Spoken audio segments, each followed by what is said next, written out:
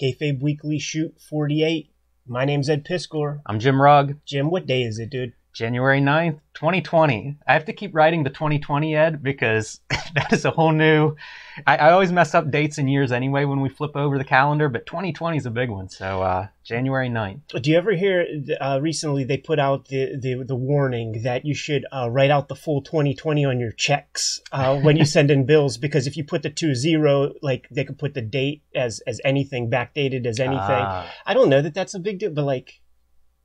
I write so few checks now I think I've seen one person in a supermarket write a check in the last year, and it was like a dinosaur spot, you know, like sighting or something. Like, what is this that this person has? You know what? One time that I do uh, absolutely sign checks, uh, I did it today, tax time, man, mm, for for last right. thing, and I almost forgot it. So there's a lot of makers out there, a lot of freelancers out there, man. January 15th is that Q4 2019 tax. Get that shit out there, man. Yes. I uh I have one thing to say that sort of like piggybacks off of uh, off of a conversation we had last week, man, where I was talking about like the crazy dreams I had, dude. For the first time in my 37 years on this planet, this is for Rick Veitch, by the way. yeah. Uh, this past week, I've done something for the first time ever, dude. I woke myself up in the middle of screaming. Holy shit, man. yeah. Like I woke up as like, ah, ah. And, and, and like started thinking like, I hope that wasn't that loud. Like, like when I was sleeping, I hope the scream that came out wasn't super loud. My throat hurt. Uh, I don't know, man. I, uh, this comic is is is hardcore. Wow. Yeah, that's tough. That is uh, that's a warning sign, my friend. I I roomed with somebody on the road at a comic book convention that had night terrors, and then I had night terrors whenever he woke up like screaming and gasping and stuff. It was a uh, it was alarming. not a not a even being warned that it might happen. It was not a pleasant thing to witness. Yeah, no, it was it was fucked up. Now I, am not going to say that uh, it, will be a regular thing, but uh, I do have to put myself my mind into a placement for this comic, and it's uh, maybe I cursed myself bringing it up on the Kayfabe Weekly this past time.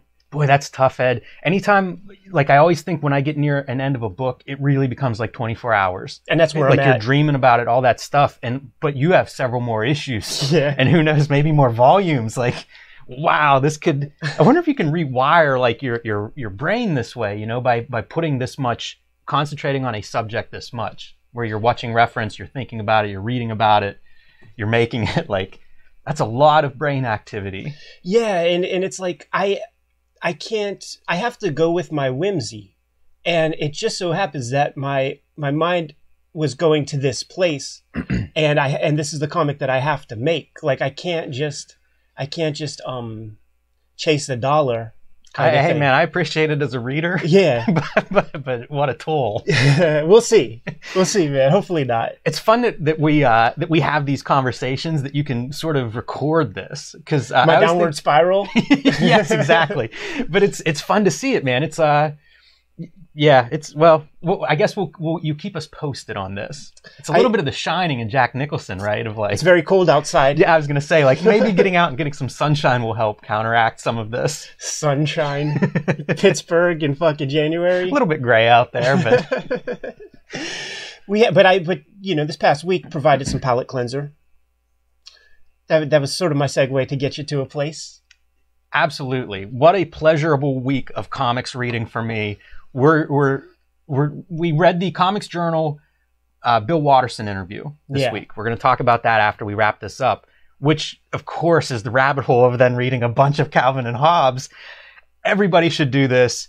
You know, like there are these different things of like go exercise, take a walk every day, listen to classical music, these things to make you put you in a better mood or whatever. Read Calvin and Hobbes. If you're, you know, if you're a comics fan, make that a daily part of your routine because wow, what what a pleasurable week. I would go to bed at night after reading these just in the happiest best spirits and thinking like tomorrow I'm going to read this book. Right. You know, this next Calvin and Hobbes book or whatever. Um, I, it's been a while since I've had this kind of reaction. There's lots of comics I read that I get excited. I'm engaged. You know, they're they're beautiful, but for the sheer pleasure, I mean, it's I, I don't know the last time I've read comics and just felt this good afterwards. Were you uh, a fan growing up? Like, did it influence you when you were a kid? Not really. I did not really read comic strips growing up no. uh, too much. Maybe a collection here or there, maybe a Far Side or something. You know, I think I've said it before on this channel. The only comics I could find in my library were like Garfield reprints. So I was conscious of this stuff, but that's not where my interests were. And riding over here, I was thinking today about like what the difference between comic artist and cartoonist is. You know, and I think a lot of it is you know, it's writing, it's, it's sort of the story creative, I think, is what you would add to a comic book artist to get into cartoonist mode. And because I was reading comic books so much as a kid, I was just looking at like penciler, that's what I want to be. Yeah. And thinking in that mindset, as opposed to like reading all of this stuff or, or thinking about, you know, like daily strips were very different from, say, Image Comics in the early 90s. And so I was aware of them, but it wasn't a, a, regular part of my reading and it wasn't aspirational to me at that time. Now it's all I want to do, man. That, uh, when, when I like reacquaint myself with that four panel structure, it is all that I want to do. I, I want to like reformat like, you know, the next piece of my comic to just fit into these four panel beats and shit. And that is on the bucket list, man. Like, like as, as things continue. The royalty checks, they keep coming in. That gives you room to play. And there is going to be a year where I make, it'll be a book, but it'll be in the format of four page strips. And then I was thinking about like, well, I liked Far Side too growing up, man. Now, now I clipped this stuff. Like my, we got both papers in town. A one, we got the, the, the one just, just for the comics because they had the stuff that the other paper didn't and my parents were, were like cool like that you know? So i, I had um, scrapbook and would save many strips but it was uh, far side and calvin and hobbes that were like the last great comic strips. Yeah. And well cartoons in the in the in, when talking about farside.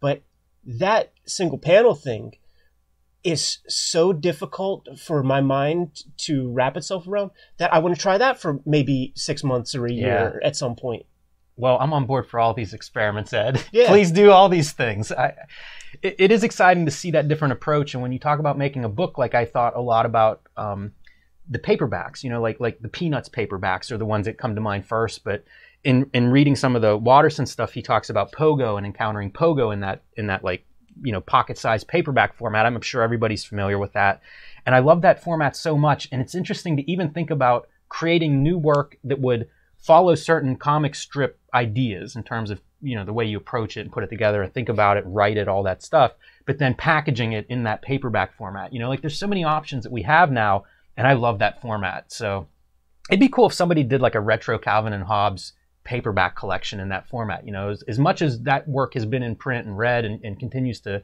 be popular it'd be kind of cool to see it in that format where you're shifting your panels around you know to get like one above the other and one above the other you know Oh, that would make him nuts, man. well, I mean, you, you'd only do it with his consent, but but he talks about that format a little bit in some of these interviews, and it's like it, it is kind of cool. You know, it's a little bit of a lost format. Chester Brown did it with that most recent collection of the Playboy, and it's just like, oh, genius. Yeah. You know, it's such a it, it's so evocative of a certain time period, and if if you're doing anything that's a little bit retro, it's like the format itself gives you some of that nostalgia. Should we uh, segue right into your Charles Manson comic after all this fluffy talk? sure. um, I, I, think we mentioned it before. My wife's away this week, which means a little extra free time for me, and uh, and I happen to have a short comic past my desk at right the perfect time. Um, so it's a Charles Manson comic, you know, set in 1969, and uh, it, it's uh, a little outside of the stuff I usually do, but very fun to draw this week. Um, I'm, I'm at a little bit of a holding pattern in one of my other projects. So, like I said, all the timing worked out great, and it's I like doing short stories because it allows me to like, oh, try a little different style here. And uh, I mentioned on one of my posts, you know, thinking about like the Skywald publications, the uh, the '70s black and white horror magazines. Um, Warren probably being the top of the mountain of that stuff, but lots of imitators. And so that was kind of what I was thinking of and drawing it, and it, it was it was fun to do that to kind of try some different skill sets, some different tools, some different approaches than what I usually draw. And so uh, that that was kind of a fun thing this week. I streamed a couple of those.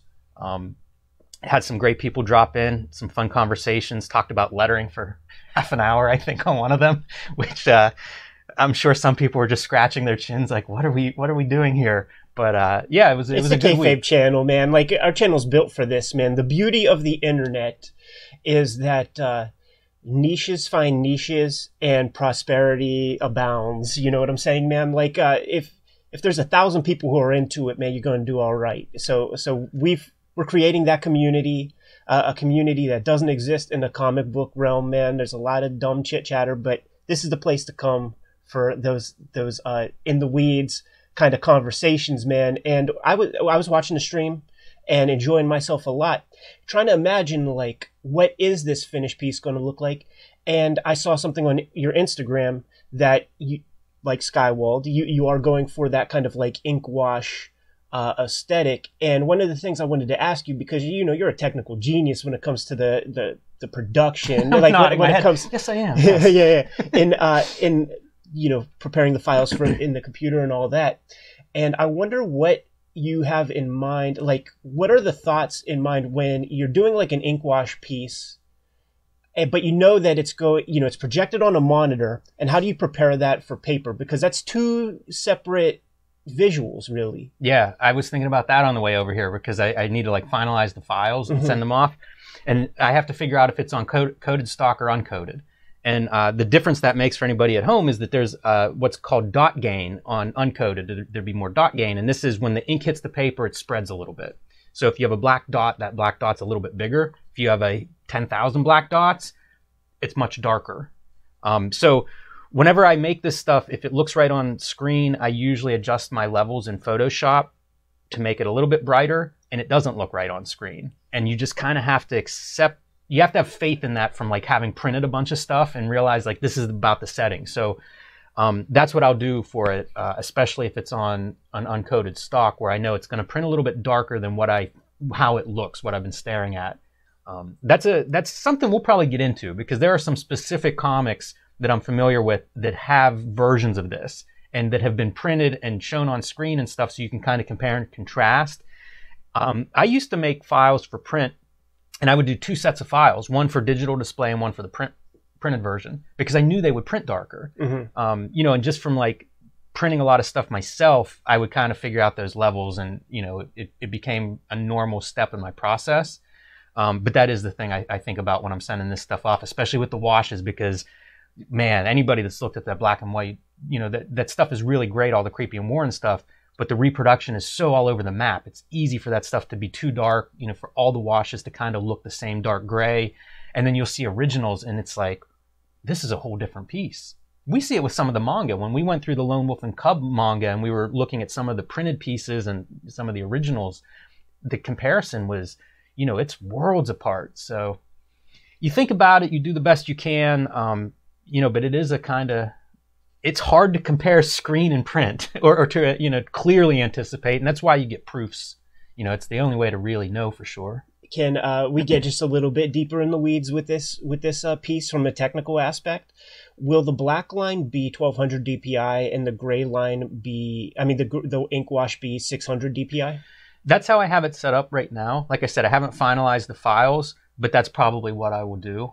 Yeah, and and the value of that would be So the value of that is if it's a, a grayscale file, this is a question of grayscale versus bitmap. mhm. So the 1200 DPI bitmap for line art, what you get is a very sharp line. If you go with the grayscale, most programs do an anti-aliasing, which is they try to make those lines blend, you know, um, which works really well in color. It does not work as well for a line. It works great in the gray, like the wash. You, you want that, you know, it kind of makes it soft, Yeah. especially the edges or where things are gradients or anything like that. So it works really well. But if you do it with the line art and you look at the line art closely, you'll see little dots on the edges of the lines. They're kind of fuzzy, and, and it's it's small at this point. These printers are outputting at a very high resolution, so you kind of have to look close. Most readers aren't going to. It's it's not going to make a difference, um, but it makes a difference if you're if you did it and then you're looking at it and be like, how did this print? Um, that's when it shows up, and that's what it is. You'll see, and you can find lots of examples of this. You know, I'm sure if you have black and white comics at home, and, and you can just pull out a couple, and you'll see some differences. right. If it's shot, you know, like in the old days, it would be shot from the line art, you get a nice crisp edge. Once you start scanning that and then sending off grayscale and bitmap files, that's where you started to see the anti-aliasing. So the bitmap prevents that. Yes, and and uh, it's like in my mind, the rule of thumb is if you have those thick to thin, like sharp lines, it's got to go bitmap. It has to. Like like Charles Burns, you know, yeah. the, the greatest of, of the inkers that does that precise, beautiful lines. You have to print those with that sharp edge intact. Yeah, and and you know, uh, Chris Ware does that like using color. The black line is 1200 DPI, very sharp, precise ink lines with the maximum output of a color file is going to be 300 DPI. Like that, that hasn't changed. No, in the past it really 20 hasn't. years. I learned all this stuff. Jordan Crane, who's a uh, used to do an anthology called Non. He's been published by Fantagraphics. Very good cartoonist, very technical. Like he does a lot of screen printing, so reproduction, scanning, all that stuff. He's a genius at it. I'm I'm a I'm a I'm an acolyte. You know. he did a uh, he he made a PDF and this would have been in like the early 2000s. We'll look at that sometime because I, I made I, I, printed one out and, and, like made a mini comic of it. But it was a reproduction guide. I think it was even called re- reproduction repro guide or something. Yeah, yeah, it's still floating around. If you if you type in uh, uh, something like like red ink, red Redding K or Redding. Yeah, yeah one red word. Ink. Type in David Choe, Brian Ralph, Jordan Crane, PDF. Yeah, Ron Regé is in it. It was like he had contacted a bunch of his his uh, people that he worked with on Non, other cartoonists at the time, who all had some area of expertise. So there are there are chapters on photocopying, which I think is David Choe and is pretty amazing. There's chapters on screen printing. I used to screen print, and that's where I learned. You know, like that was one of the resources for that. Um, but also Jordan Crane does scanning line art. Starts on page 14. and I still use those same settings and that same guideline. So uh, it, it's amazing. You know, th- that's definitely a resource to go check out if you're interested in this kind of stuff. And if we can find it, maybe we'll po- post a link or put it in comments or something like that. It makes total sense if David Choe is the photocopy guy because, like, some of the things that he says is like, put on a suit and go downtown and just like just walk into offices, man, and yeah. and go right up to the Xerox machines, dude. Like you know, look the part and just make some some copies, man. These things can be expensive in volume. stealing copies was such like a uh, badge of of uh, alternative cartoonist 90s alternative cartoonist was like how do you get your copies from from Kinko's or wherever? I still think that cartoonists are responsible for those like little card counter gimmicks that that stick into the Xerox machine man because there there there were times when I was young and fucking broke to be honest where uh I would 500 sir you know, like a stack like this, something that would fit literally in the box that would um, contain like four or five reams of paper, and a ream is five hundred. Yes, and it and it fills it up, and then I go, I have like five hundred here, you know, on the little paper, and I'm super sweating because I'm like, there's no way I'm going to get away with this one. You get away with it, man, because it's a ham and egger who's who's doesn't give a fuck. Yeah, they don't. And uh, what are they going to do? Start counting them? Yeah, there's a there's a lot of those uh, those great stories of, of how you get hold of those copies one way or the other. Sometimes it's just knowing somebody, you know, somebody's dad or uncle or something that works in an office, and they're like, yeah, you can make copies here until you abuse that privilege, of course. But right now, I'm... i bet there were Kinkos in like uh, maybe the the Bay Area or something. You know, there's like those clusters of like where cartoonists were really like a lot of activity was happening. Where I bet, man, they'd have like a guard or something set up. They're looking at their numbers at the end of the month, and they're like what the hell happened here? Responsible for killing some trees. Just reams of paper that are unaccounted for. um, one other cartoonist who probably uses the methods uh, that you just laid out and described with the 1200 DPI black line, 300 DPI color, Dan Clowes, man. And that was a pretty successful video we had this past week, getting a hold of an early copy of that Dan Clowes Studio Edition what a beautiful treasure that thing was. And uh, Kayfabers, who have all been watching that and commenting and liking it, thank you because that is such an indicator to me. You know, the response to this stuff. You know, like I was excited. One of my notes about Calvin and Hobbes is why did we take this long to get there? And it's there's just so much comics landscape. But whenever we get this kind of like positive affirmation, um, it's like great. Let's do more artist editions. Let's let's do more Dan Clowes work or alternative comics work. Um, he's one of my favorite cartoonists, super influential. And when you get hold of the artist edition, that's where you really get to go to school. It's it feels like dissecting a frog or something in biology totally. class. Like like there were people on Twitter who were screen capping a thing and were like, my favorite part is when Ed and, and Jim like pull out the ruler and get get all close and shit like like like we're like we're like we're Bunk and fucking McNulty like at a crime scene. It feels like it, man. And I'm not done with that book either yet. So. Oh no, man! Like it, I was like I was chomping at the bit for you to come over so that we could look at this thing at a really good first glance because I was holding off, man. But man, I I, I poured over it every day since. I have I have my copy set up on my dining room table. that's another benefit of, of the wife being away is that it's like that's my art room now. Uh, have to clean that one up before she gets back, but it has been a pleasure going through that book. And one of my favorite parts of that video, and I think a lot of people have responded to, and you know, like messages they've sent, is going through it for the first time with no preparation.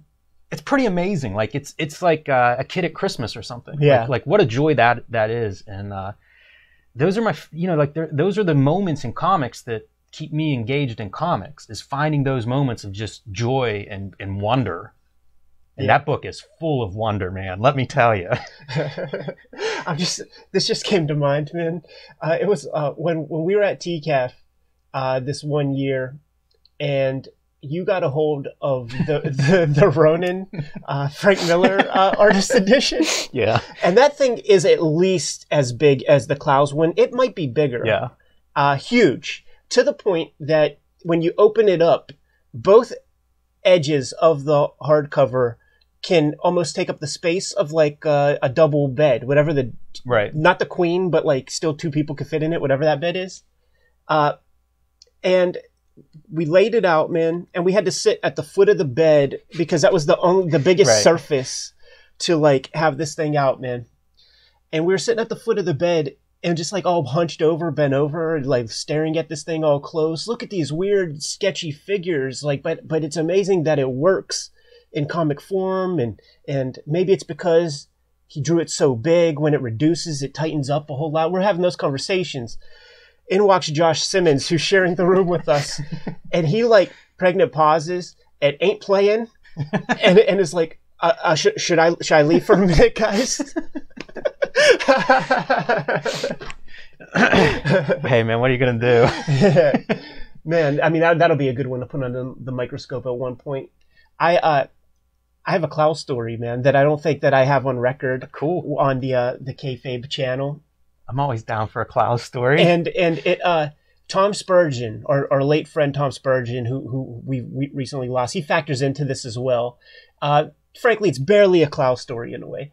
Um, in 2015, the year that we won the Eisners, um, you you were not out there to collect your your trophy, and and, and I was out there, so I had I had yours, and I was bringing it back. Uh, but I was able, thanks to Boing Boing, to swing through uh, because I was a part of a press junket. I was able to hang out for a day on the set of the Wilson movie with Woody Har- Harrelson and Laura Dern.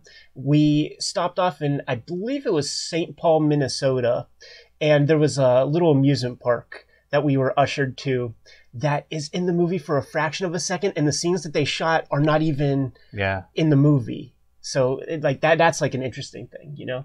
And it's um it I'm clearly part of like the comics press press junket. It's it's me, it's Tom Spurgeon, it's Tim Hodler, it's Alex Dueben, and it's uh it's just some guy from Vice, you know. And in fact, like the other comics dudes were like apologizing to him for all the geek talk that we were doing, and I was like, fuck, fuck that you know, and like all those dudes who I just named, they're from like an earlier generation that still has scar tissue about being a comics fan and shit.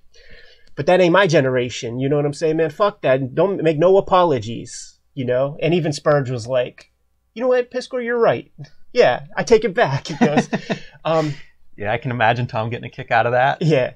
So, so we, uh, we go to this sweltering, fucking hot, uh, amusement park I'm not quite sure, but they had to kayfabe the the name of the park, and I think that Clowes might have lettered that, like like the yeah. the lettering, and but it's not even. I don't think even think that's in a movie. Um, like a sign, like a sign, was, yeah, oh, yeah, man, like, like the really entry cool. sign. That's that'd be the best prop to like leave that movie with. Straight up. So they bring us in, and the first thing that's done is we go under this like under this tent, and they have a giant flat screen TV, and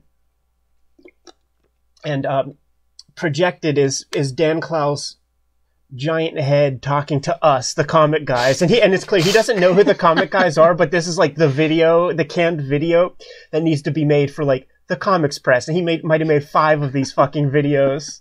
Uh, you know what I mean? Like like while he swung through St. Paul, right, Minnesota, right. or whatever the fuck.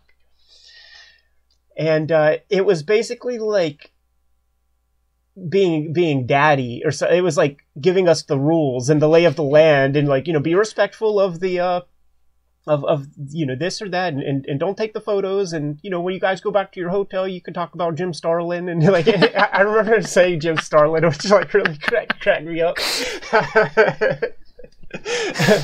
But uh you know like th- then it's then it's now like time to watch you know the movie Magic. And it it's a uh it's an amusement park and everybody that you see basically is an extra everybody who's like past the threshold if they're not on the on the um crew, they're they're an extra, and they have to populate the rides. You know what I'm saying, man? And it's so fucking hot. It, it was so hot that you know they would bring us cups of water, and the the cups of water would just disappear in like she would give them to you and then you would just like throw it back quick like a fucking shot and and uh, then they just like got us these like giant like mugs and they and they were like, "Here, man! Like clearly, you guys are very thirsty. We all just got off planes. You, you know how that yeah, dehydrates right. you too. You know, um, so it's that hot, and there are little little kids on these rides. They don't let these little kids out of their fucking rides, man. they don't let them out, and and uh, these kids, you know, their parents are like wherever the the fuck they are because they had to be brought there and papers had to be signed and all that and these kids are stoked that they're going to get to be in a movie and they're going to get to like ride on rides all day until take six, seven, when you see the little girl like this. Yeah, careful what you wish for, kid. Yeah. And uh, just the whole thing was Clowesian because I'm behind like the little, the little, um, you know, the, the little fences that they had were the same ones at the front of like old school WWF where, where it was like the, um, the little barrier that has like the rounded edge mm-hmm. with the jail bars. Like we're behind those. And um, you see like the little PAs that have like the trays full of like little waters for the little extras who are on uh, the rides.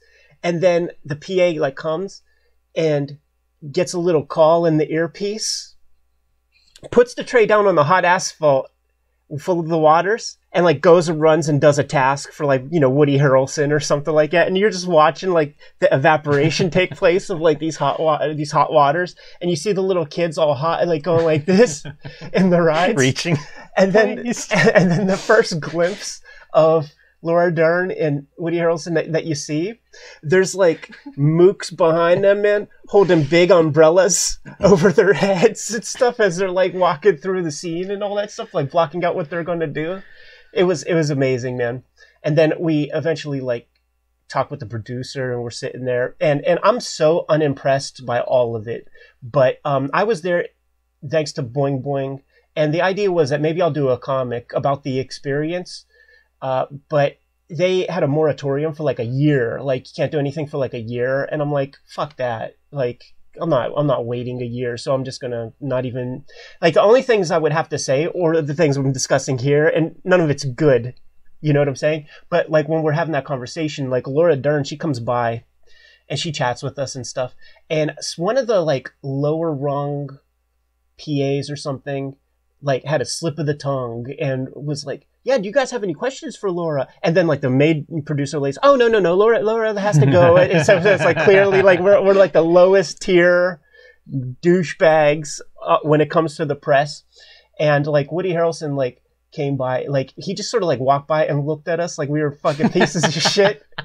And he did smell like weed too. I'm happy to report, man. I don't know if that shit's legal in Minnesota or whatever, man. So I don't mean to narc him out. On, on point though. To, yeah, yeah, yeah. On brand. yeah, yeah. I was thinking on the on the plane, man, because I I never even fucked with that stuff, man. But I was like, you know, if we're there, and if Woody Harrelson is like, we, you want to hit this, I think I would say yeah, just for the kayfabe story of it Sure. Yeah. yeah. it's a funny thought to have on the plane. right. Something to look forward to because it was like. Also, by the way, because I had your uh, your Eisner, my Eisner, that that created many questions, like like uh, in the in the airport because you know they're heavy objects and they're metal and they go off and stuff, and uh, every and you have to go through security fucking twice, man, to go to St. Paul and then get the hell back and go to your final destination, man. And everybody's like, like they, it creates a situation where they go through your shit. And what you got in your globes or something? And like, yeah, we won some awards or something, man. And so your your your Eisner was like fondled by TSA like two times, man makes you wonder what happens to like a Tom King or somebody when they have like five in their luggage. yeah, right. I've had I've been stopped and searched for uh, like I'll have Brixton mini comics if I'm going to some convention or something, and mm. they're just mm. tucked in the bag. And I think it must look strange on a sensor because they're they're densely, you know, like and it's, bagged up, right? And it's paper, and you can only have ten G's. Who's the guy who has nine thousand nine hundred ninety nine G's?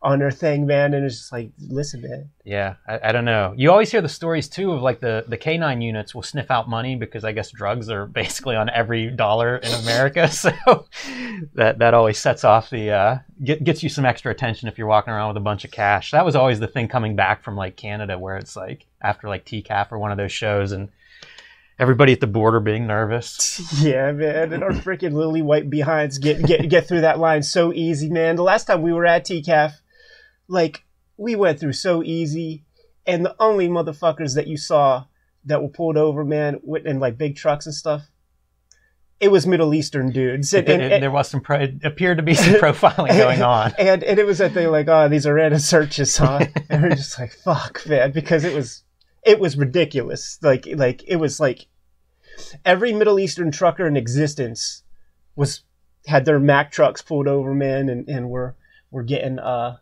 getting to run around at the at the border there. You know, my pops, my pops is a very very dark skinned guy, man, like Eastern European, uh, uh Rom- Romany uh, gypsy character, man, and and they're like sort of like uh, their skin tone is like Mexican or uh like uh like Indian, you know, very dark skinned guy, and he worked at Canada a bunch, and it was always a crapshoot, always yeah. a crapshoot, man, and and it would there were times where he was denied and would have to like call the boss man and the, and the boss would have to like come from you know toronto somewhere come through wow. and was able to to like vouch for him and, and get him across the border and shit.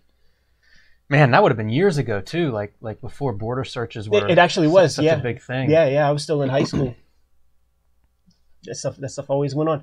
Um what other videos did we even post we did the uh, what the number five oh, or classic. image image year zero as, yeah. as we like to describe it with uh, Jim Lee, Erik Larsen, Whilce Portacio, Larry Stroman, um, doing some very good cartooning in the uh, in I think like 89 I think is when that book was published 88 89 so early in their careers but but lampooning some of the uh, big Marvel characters like Hulk and Thor and X Men and stuff. I was thinking about it. I don't know if it lines up, but it may have been some of Jim Lee's first X Men work. I, I, uh, think he actually drew a fill in before that, but it, it's it's around that time that he starts to do X Men, and, and, his pieces are X Men based. So that's, that's a fun video. Yeah, that's a it's it's a murderer's row of talent in that. Even Hilary Barta's in the scene, man, and I like that guy's cartooning a whole lot. Yeah, for sure. Um, Al Williamson inks several of the stories, including Jim Lee, which is interesting because I was such a I'm such a mark for Al Williamson. Love is his inking on JRJR on Daredevil. Uh, pretty cool to see him inking some of these these image guys. And then, uh, you know, is it John Severin is the centerpiece? No, Russ Heath. Russ Heath. Is it Russ Heath? Who who does the uh, the Tin Soldiers? Yeah, I think so.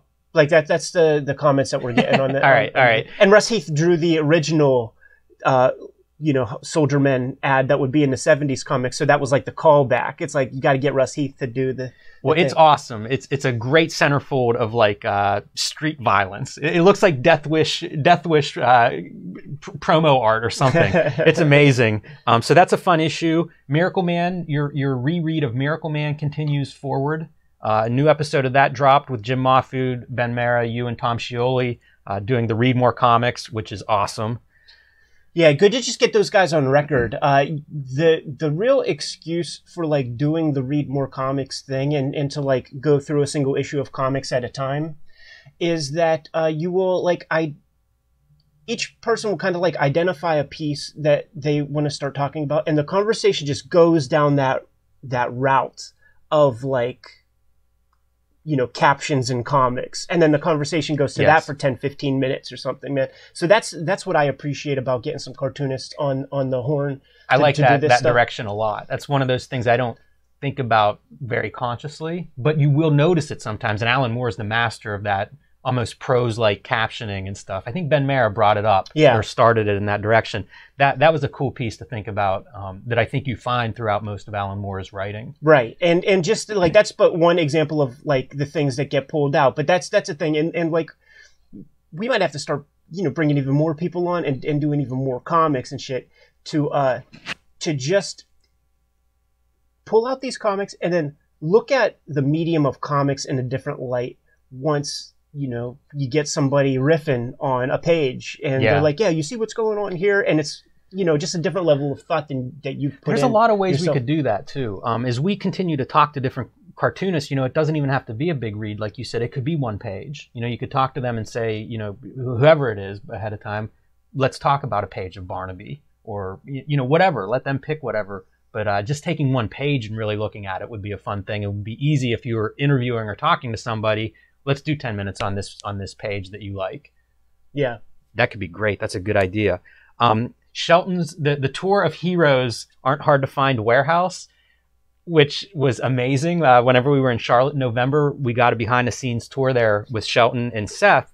Um, those warehouse spaces like like those are my favorite places to visit. And it's something that's really opened up to us in the last several years just from befriending different stores uh, different retailers. So it was cool to see that space. And i was thinking about it.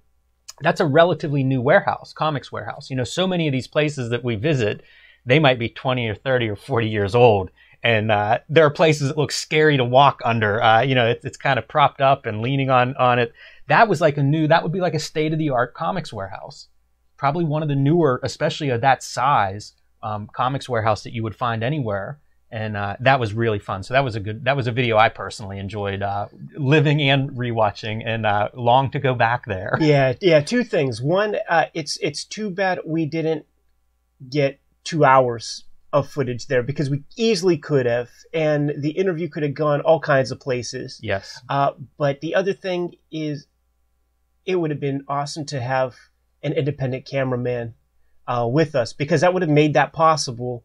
Because at a certain point, you want to have fun, like you go want to live your life. Yeah. And the the gimbal has to go down, and you have to like start digging in boxes. Yes. You know. Oh man, the digging was incredible in that warehouse. We could have spent I could have spent weeks there. Yeah. You know, like like we they had some stuff ready, but just like everywhere you looked, there was interesting stuff. Um, it was cool to see the history too. You know, seeing like the history of the Heroes Con, you know, like all the arts and programs and stuff that goes with that. Seeing old signs for Heroes aren't hard to find, hand painted signs and stuff.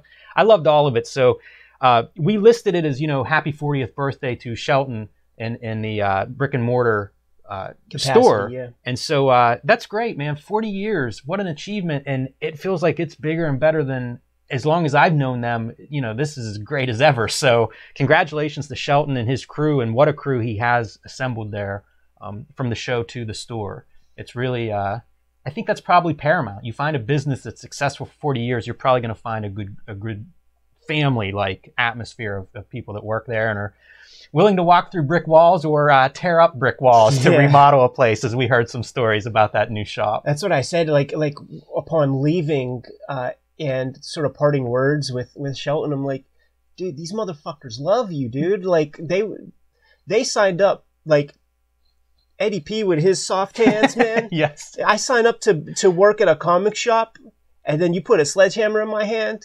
I'm gonna say fuck you. you know what I'm saying?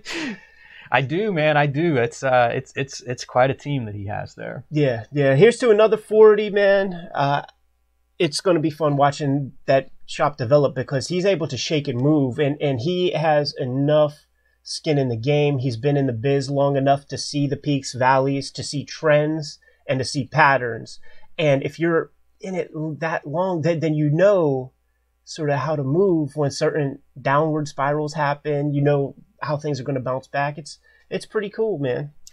Yeah, I, I, wish there were more resources of, of guys like Shelton, and and maybe there aren't too many guys like Shelton, but you know, like hearing those insights, hearing, you know, what he's thinking, what he's planning, what he's brainstorming behind the scenes, because as you say, he's gone through a lot in those 40 years. Yeah. Um, and, and we barely got to see, you know, just, just the tip of that iceberg, but, uh, quite, quite a, quite a trip. And, uh, I'm happy that we get to make these videos, even if they aren't the two hour epics that we want them to be. Right. Um, it's just awesome to be able to, to share these spaces, to, to record these spaces. Um, because I never saw any of this stuff for my first 40 years of my life. Yeah. So I, am thrilled that we get to do that. Uh, one of the things I love on this channel. Yeah, and and like the, that like week was a crazy week because I think the week before it's like we're we're in Kansas City, and uh, we I, we dealt with basically like three giant collections, and I'm trying to think like what the it was Hamlet's collection. Mm-hmm. We got video of that.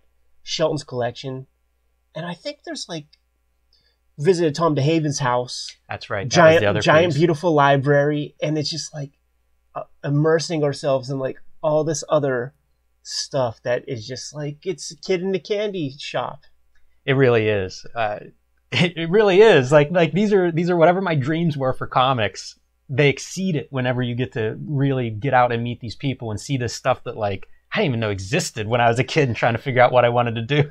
You Dude, know just just meeting you uh, here in town, you know, my my homestead was sort of like one of those things that I thought about like growing up where I remember thinking like if I just had one other person to true. talk to about this stuff, I would be able to effectively double my knowledge on this subject. You know I would I, mean? I, would glom on to people too. Like like there was a comic book store in my college town, and I knew a guy who went there, and it would just be like yapping in his ear about whatever I was reading, and I'm sure that guy was like, "What are you talking? Like, please stay away from me." totally. Like like uh, same deal. There would be like the few people who had some clue, but. Uh, even when I was young, I'm like, eh, they're kind of.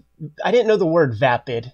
I didn't have that vocabulary, and but I knew that their their interests were very shallow, uh, and these would be, you know, like I'm Kohai, you know, they're senpai, and they're they're telling me to like read this or that, and I'm checking it out, and I'm like, I don't know, I'm not feeling this, man, uh, and then you realize, like to this day, I still know some of these motherfuckers, man. And my thoughts have not changed. There's definitely different tastes for sure. You're so diplomatic, man. That's the other thing. I need to like let some of that uh, absorb into my DNA a bit, because I'm just like, oh, like like I get offended. You wasted my time with this. Well, that part happens too. There there is some time wasting involved. Yeah, man. Uh, I hit basically everything I want. I'm very excited to, to kayfabers, make sure you get a hold of uh, what is it? Uh, Comics Journal 127. 127. It's the Bill Watterson interview, and you could read it on uh, online. Um, you could find it on the TCJ site. It's a, it's one of those classic interviews, not conducted by Gary Groth, but uh, that's one of the next videos that we're going to record. Um, I have a couple things before we, we sign off. Yeah, this is a big a big time for all of us who are releasing books. Oh right, yes, of course. Tom Scioli's uh, Fantastic Four Grand Design Collection out. I'm going to confuse all the weeks, but in the next two yours, weeks, this is what's happening. Yours came out last week. Mine came out last week. Plain Jane's came out last week, and I, I have a few plugs for that. Yes. One, we were on NPR, which is amazing. Like That's talk it. about like like you know a bucket list item. Super excited for that. Um, and, and I've been posting links to that NPR bit, but uh, we'll be doing promotion for that. So like I will be at the Carnegie Library in Oakland on January 23rd. Uh, show some slides, talk about it, do take some questions, unlike Laura Dern. I will uh, be fielding some questions there. Um, Cecil Castellucci, my co-creator and the writer, will be in LA tonight at Vroman Bookstore. Um, and she'll be in New York on the 15th at Escape Pod Comics and the 16th at Word Bookstore. So you can find all that. Follow, you know, if you're following me on on uh, social media, I'm posting about all of this stuff. But I'm super excited. Like the response has been good so far. And how's the how's the the talk progressing? Um, in your mind, is it is it uh, career retrospective? Is it Plain Jane specific? Uh, are you going to slide some some some Street Angel pimpage in there? There's no there's no Plain Janes without Street Angel. Both times, weirdly, it's so strange how how those things repeated. Um, so there'll be some Street Angel stuff. There'll be. It's not going to be a big career retrospective, but I'm going to talk a little bit of shop. Um, you know, the book Plain Janes, we have like three basically three novels are in that book. Yeah. And in between the novels, we have little pieces. One is like development stuff, so it's character designs and things, and one is walking through process, uh, script to finished pages. So I'm going to talk a little bit about that stuff, and it's it's basically going to be uh, you know relatively general because I don't think it's all cartoonists sitting in that audience, but it'll cover uh, quite a bit of this stuff. So a little bit of shop talk and how I make these comics. Probably half of it will focus on Plain Janes specifically, and then you know a little bit of just like I'm gonna take a, a, few images of like these are some of my best images. Let me just show off. Yeah. Um, you know, I want to entertain people, so it's gonna be a chance to uh, to stand in front of a bunch of people that have never seen my work really, and uh, kind of show off what I've done and what I'm proud of, and it'll all be under the Plain Janes. You know, it'll be connected to that, but it'll be a little bit more than just Plain Janes. It'll give a little bit of how this came to be and where I'm coming from and what I'm drawing from and all that stuff. So should be fun. I'm, you know, it's a short talk. I've done these talks that are two hours. Mm-hmm. Um, I'm going to do probably about 30 minutes and then do a Q&A. So it should go relatively quickly. I'll cover as much ground as I can, and I'm bringing some visual stuff. So, you know, come on out if you can make it. And it's free admission with a library card. So I hope to see uh, quite a few people there. Yeah, that's great, man. Uh, but Pittsburgh is a small town, Jim, and, and I would have put even more responsibility on your head uh, on top of everything going into that show set up the tripod, man. Put on a little lapel mic and fucking get some video for the kayfabe channel because a million more people will see it, or more accurately, a couple thousand more people right, right. Will, will see it than the people who are in the crowd there. And I want to see it, man. But Eddie P doesn't leave the house in January. Smart man. you know, it made me think like I, have gone through so many things. You know, thinking of like what do I include, what do I talk about. Um, I found the oldest drawing that I that I am aware exists of mine. Oh, that's cool. I found and I'm going to show off there, and it's it's a drawing that is related to that space that I made when I was six years old, and I had done a field trip there whenever I was six years old, and it left a mark because I went home and made this drawing that my mother has kept all this time. Uh, so, you know, there'll be some surprises there, some stuff that nobody has ever seen before will be coming out in that show. And there'll definitely be some kind of uh, kayfabe component. I thought about doing a, a dry run, you know, like making making a video, kind of testing it out. So someone will either record it or else we'll make one specifically for the channel because it is a you know it's a bunch of stuff that I do want to show off, and like I said, some of it has never been seen before. So yeah, I think I think some of that art needs to be. But the January thing makes me think of that really great art show that Carnegie Mellon had like 20 years ago. Right. The greatest comics art show I had ever seen. Uh, still, probably to this day, I think there were 150 artists in it, mostly alternative artists, and it was so freaking cold. I remember going to that, almost not going because it was January, and it was like, oh man, it's like four degrees outside or something, and then you get the feels like minus 12.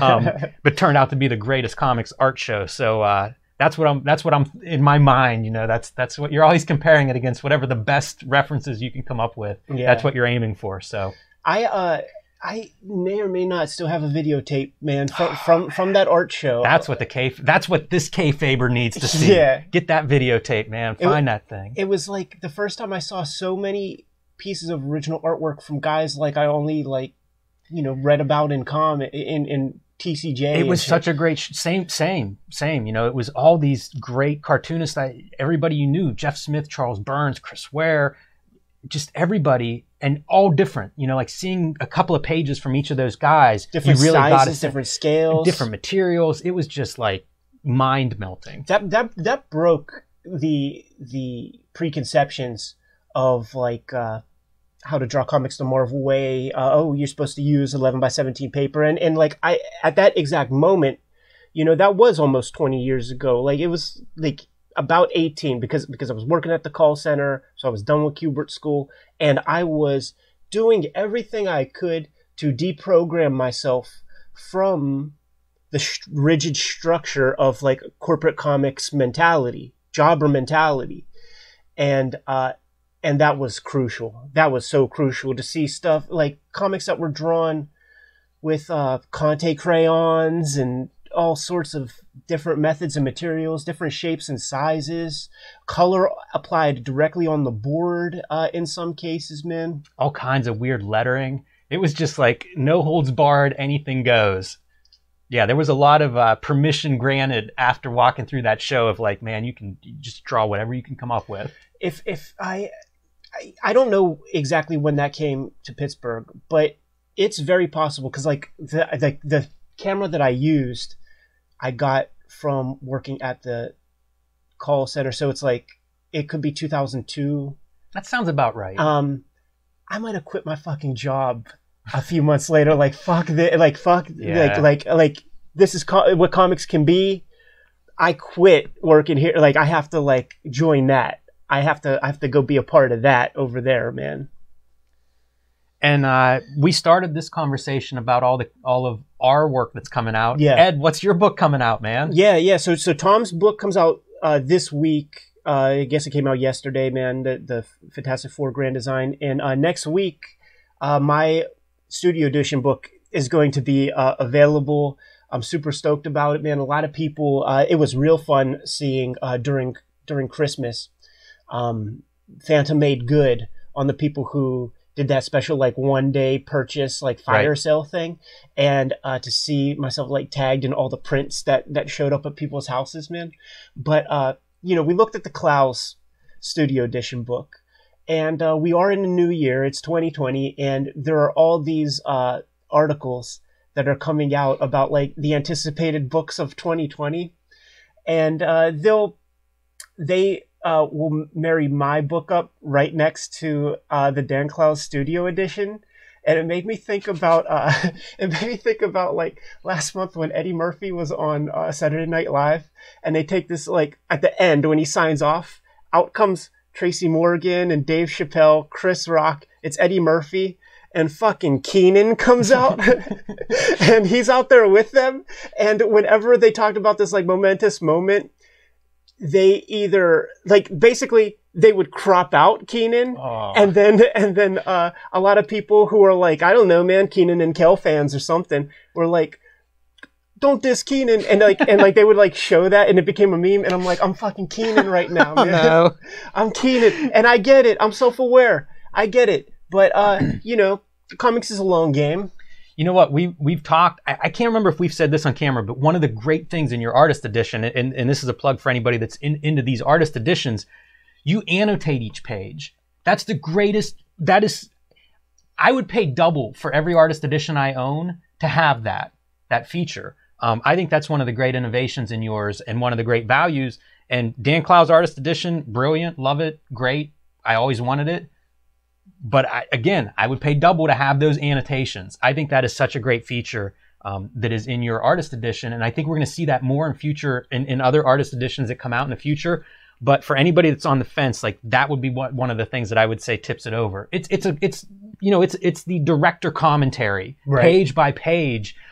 Uh, if you're interested in making comics, if that's part of your appreciation for these artist editions, man, that is an incredible, incredible resource. I'm I'm super uh, you know I'm super stoked. I'm super happy with the book. It's I had much more limited materials to you to cobble my book together. My career my career is basically less than a decade old, right. man, and he's pulling wow. from 30 years of stuff.